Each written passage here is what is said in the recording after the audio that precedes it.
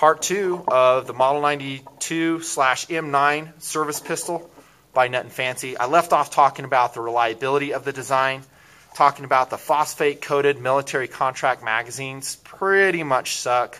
Uh, I've seen a lot of problems with these, and the phosphate coating inside is very problematic as well. Not a great idea.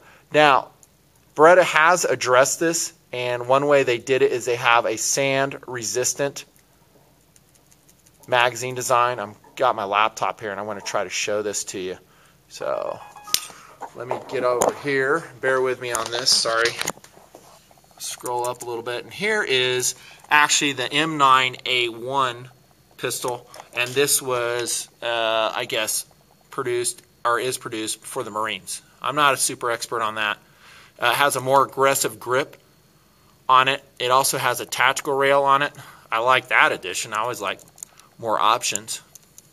And then also has this M9A1 sand resistant magazine. In other words, basically a magazine that's like everybody else's magazine. Because, like I said, the Glock and the SIG don't have sand issues, at least not that I've heard of. I've never heard of the Navy SEALs complaining about theirs, and yet um, I guess Beretta's had issues, uh, at least from what I've seen. So it is an issue. The magazines, especially the military contracts, uh, contract ones lead to reliability problems. Now, if you're a civilian and you're using it, I would highly recommend uh, double checking your magazines to make sure that they won't jam with sand and stuff. And you can always upgrade them to maybe that new Beretta magazine. Excuse me. Or you could get the excellent Mec-Gar replacement magazines, which I always recommend. Those are excellent as well. And they are not going to be phosphate coated on the inside. And actually, when I said check them, that's what I mean, is make sure they're not phosphate coated uh, on the interior of the magazine. You'll have a much more reliable magazine. Now, the question is, what percentage of these jams and other reliability problems that I've personally seen were related to magazine? Uh, it's hard to say because oftentimes I was shooting competitive, competitively on the line uh, or in qualification in my military job, and so uh, you know, I'm engaged in my own qualification. I can't, you know, meander on down the line and see what why that dude's gun hiccuped. All I know is the shooting stopped and there's a jam on the line and everyone's got to wait while it's cleared. I've seen that many times with a Model 92. Uh, it's just been that way.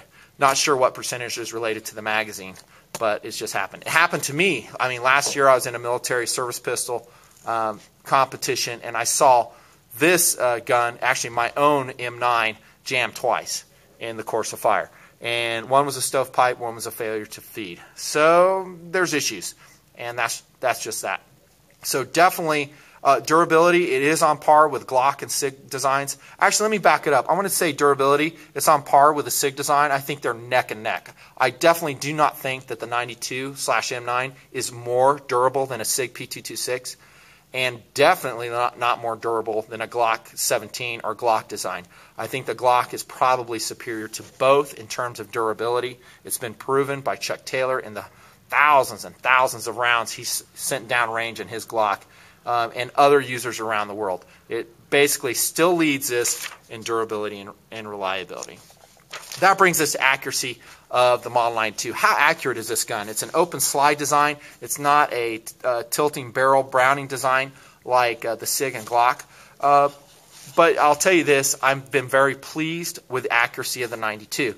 It's as good, uh, well, I won't say as good, but almost as good as a SIG design. Um, is it capable of 3 inches at 25 yards, which is pretty much a, a reasonable measure to expect from a handgun? And I will say, yes, it is capable of that. Maybe even a little bit better.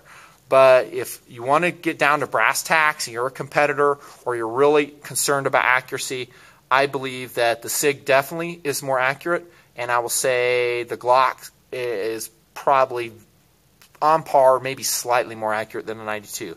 Now, those are subjective um, observations by myself over the years, having shot all three designs like a lot. So take it as a data point, and that's all my reviews are, are a data point in your search for the truth. So that's the best I can say is that it's it's a very accurate design. And if you want to say how less accurate is it uh, than a SIG design, it's minuscule. To be honest, maybe half inch at 25 yards, which in real world terms is meaningless. So still an accurate gun, and that takes us to ergonomics. Um, in ergonomics, by the way, uh, I always safety check these. I forgot to show you that because there's so much to talk about. But the pistol is indeed empty, and so is the magazine, as you've seen. But in term of, terms of ergonomics, how does the 92 design stack up? Um, it's not bad if your hands are on the large size. If your hands are smaller, it's an issue and you probably will not probably will not enjoy shooting the 92. A lot of female shooters do not like the 92, and that's because its grip circumference is large. It's thick, especially for uh, a 9 millimeter pistol. I would expect that thickness of grip, and I don't have my ruler handy, uh, but I would expect that on a 45 caliber or 40 caliber design. Now, that being said, again, if your hands are large, you can wrap around it and get a nice purchase on it.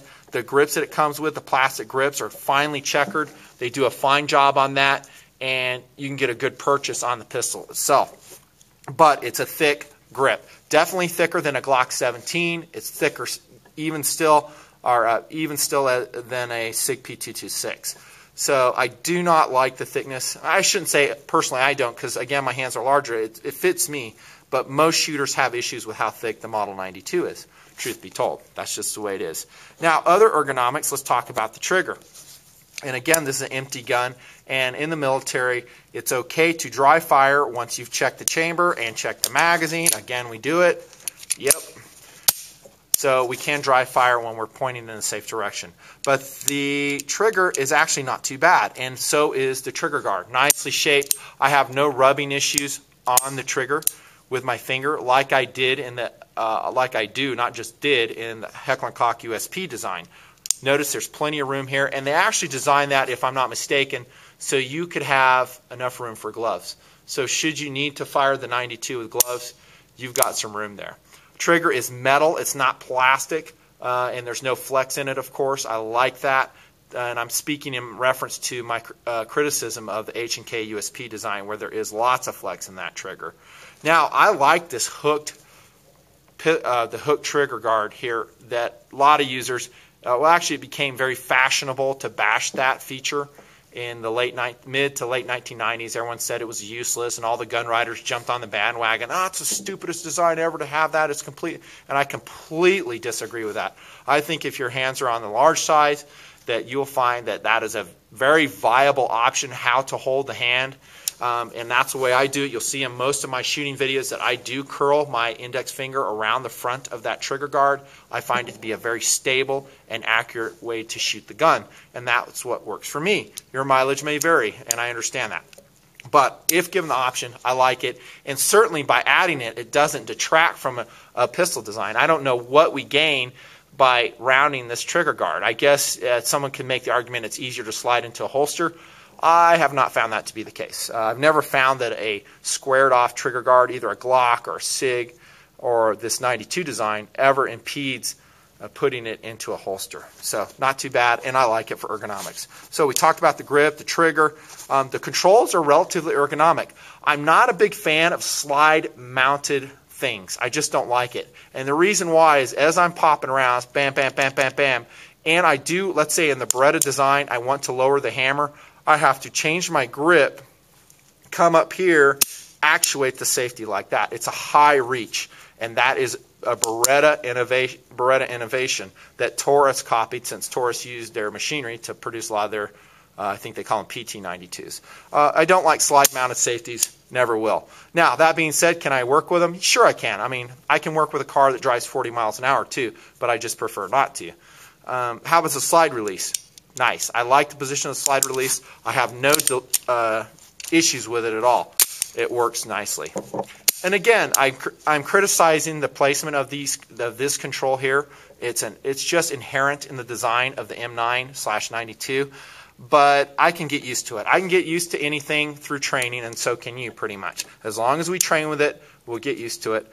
Um, but I will say, and I was saying that that. Uh, sweeping that safety maybe off or using it to lower the handle is a long reach. Well, guess what? If your hands are even smaller, it's a longer reach. So it's a valid criticism, I would say. So ergonomically, I would probably give uh, the nod to Glock. Uh, and also definitely SIG over the Model 92. Thickness of the grip, the control placement, not the slide lever notwithstanding, Uh, ergonomics are good. They are definitely not excellent to outstanding on the Model 92. That's part two. Tune in for part three. Nutnfancy on the M9 slash 92.